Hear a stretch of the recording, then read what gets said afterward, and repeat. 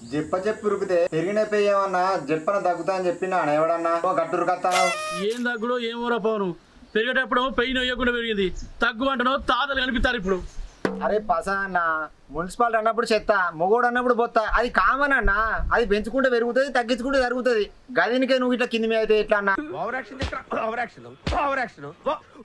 నీకేంద్ర పవను? పాల పిండి ఉన్నట్టు పల్సగా ఉంటుంది గట్లే మాట్లాడతావు. నేనేమో పంది ఉన్నట్టు మందం ఉంటుంది మూర్తి గారు. ఇలాంటప్పుడే గుండె రాయి చేసుకోవాలి. ఏం చేస్తాం? నాకు నాకు తెలుస్తుంది అంటే నీకు కోపం వస్తుంది కానీ ఊళ్ళో ఒక్కనే ఉన్నట్టు ఉరకలాడితే చూస్తే సగం మంది సన్నగా ఉంటే సగానికంటే ఎక్కువ ఎద్దున్నట్టున్నారు. గీ ముత్తాంత బొత్తకే సిత్తు బొత్త అవుతానమైంది పస అన్న? కరెక్ట్. ఇది కరెక్ట్గా చెప్పావయ్యా. నువ్వు అనుకున్నట్టు అందరు అనుకోదారా? ఇంటికి పోదామంటేనే భయం అవుతుంది మీ వదిలే కళ్ళన్నీ నావినే ఉన్నాయిరా జనిగే పట్టినట్టు పట్టింది. అస్సలు ఇచ్చిపెడతలేదు మీ కష్టం పగవాడికి కూడా రాకూడదు గురుగారు.